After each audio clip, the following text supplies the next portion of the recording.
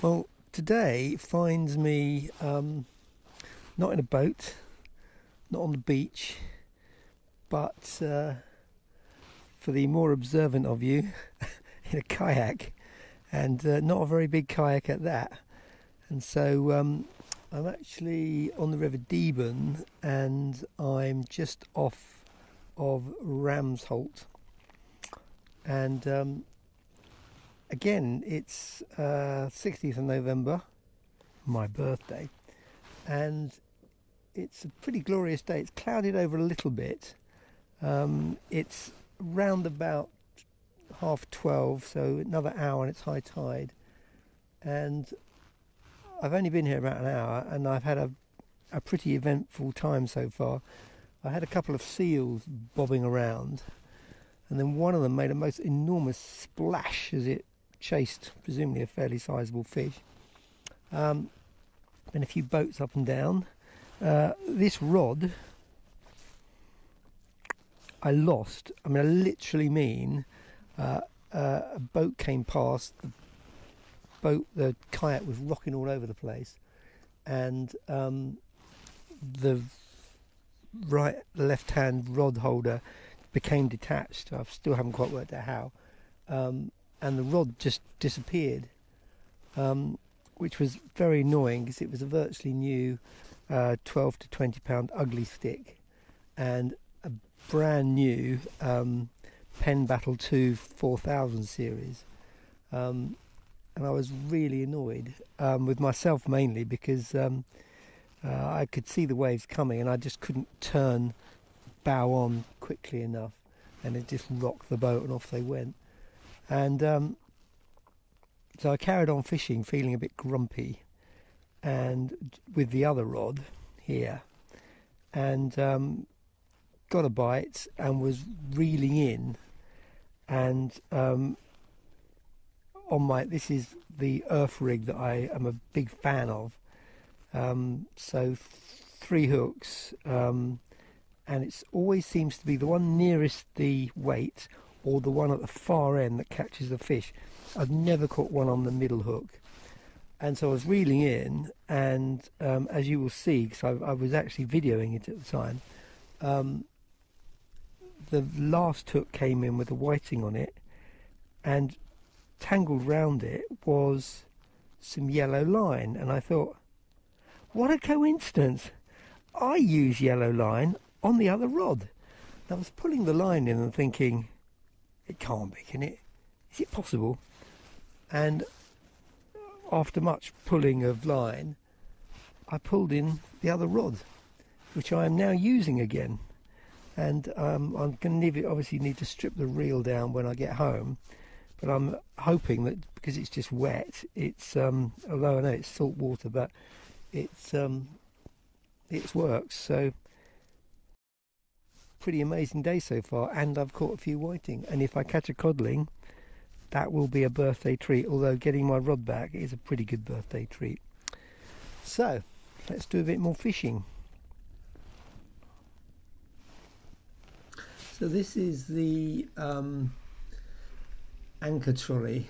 So the line is attached to that carabiner, and then in this case it goes to a buoy that I've attached it to you can move the center of gravity from the front of the boat to the middle of the boat or to the back of the boat and that will turn the either the bow one way or the other. And it's quite useful. I didn't manage to um, do it quickly enough when those waves came so I lost a rod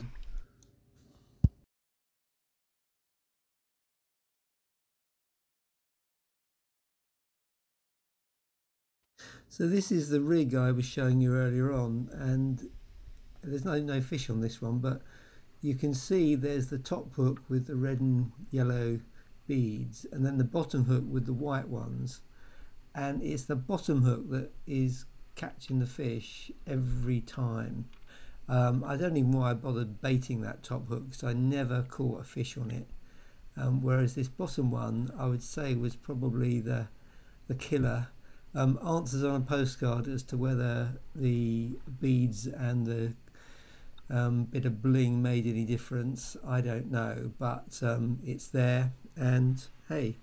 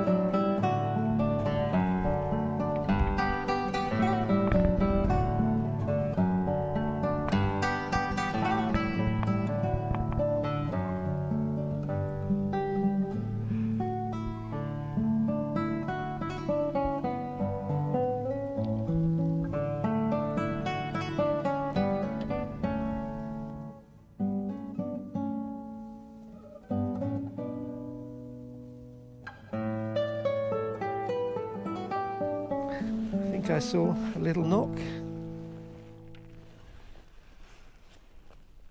Mm, don't think so. Nah. No knocks for Len. Oh yes. There's a knock. And again, it's on that bottom hook nearest the weight. Right, let's have a look at the earth rig. Not really seen any bites, but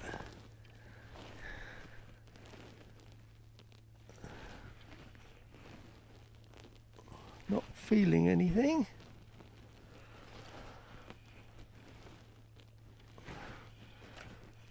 This, this bail arm, it's not really up to big weights. Keeps on flicking back. There we go, look, nothing except for Mr. Crab. The first crab of the day.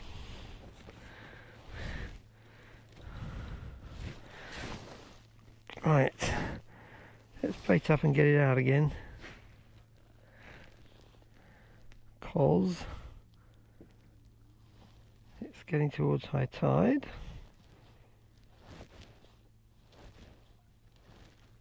There's that one.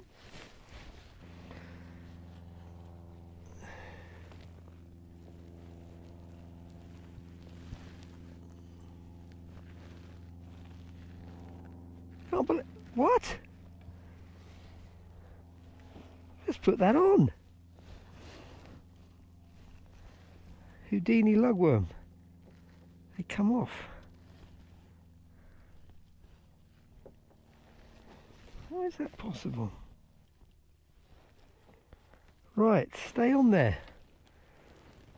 I Paid good money for you. Let's put this baby back in there.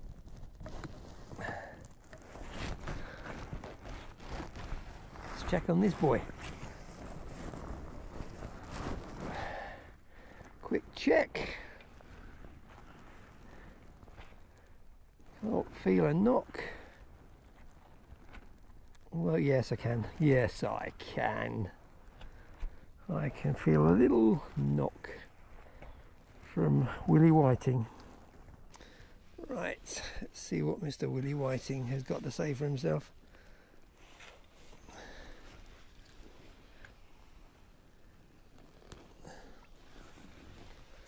Come on, Mr. Whiting, be having you.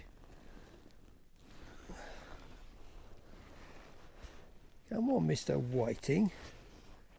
Oh, is it a whiting? Is it a whiting? Is that a whiting? It is a whiting. For one second there,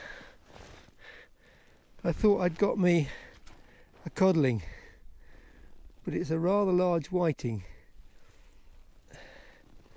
And, for good measure, it's taken my hook right the way down.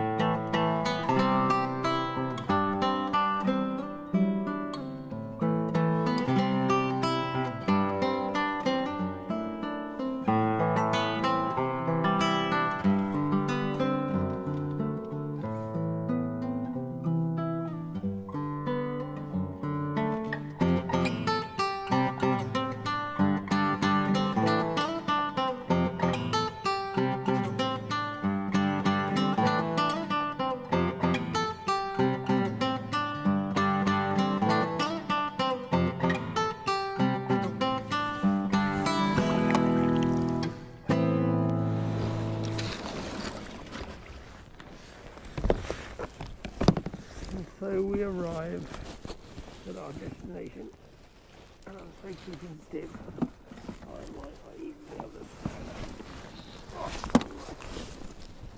Wow. Oh, it's good to be on dry land. I feel like kissing the soil. Ah. Oh boy. Oh boy.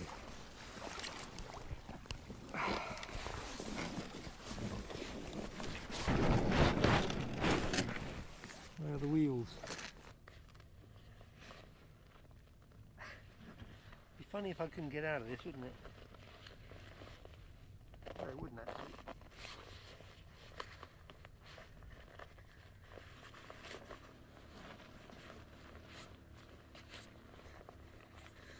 Harry Houdini, I am not. Wow, now I know how a butterfly feels.